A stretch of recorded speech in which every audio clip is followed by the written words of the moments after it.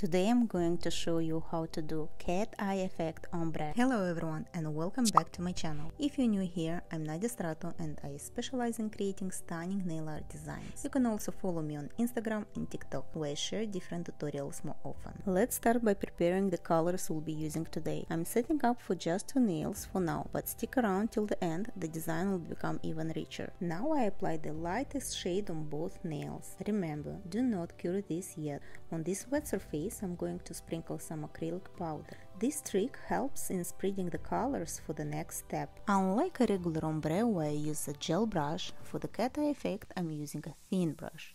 This allows me to drag the color in a rounded shape at each corner of the nail one color at a time. It saves time when working on multiple nails as you don't have to wipe the brush each time. After applying all three colors, I start to blend them into one another.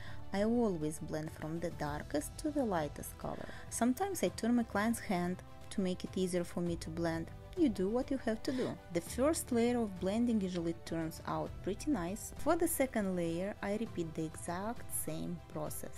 After the second layer, we decided to go with stamping. If I had thought of stamping earlier, I might have stopped after just one layer. Depending on your design, you will seal it with a base and then top coat, but in my case, I went with the stamping. I hope this tutorial was helpful and inspires you to try out this technique. Ombre nails, especially with the cat eye effect are not only gorgeous but can also significantly boost your service pricing. With practice, you can master this skill and offer it to your client, adding extra value to your nail art services. Thank you so much for watching. If you enjoyed this video, please give it a thumbs up and subscribe for more nail art tutorials. Don't forget to hit the bell icon to get notified every time I post a new video.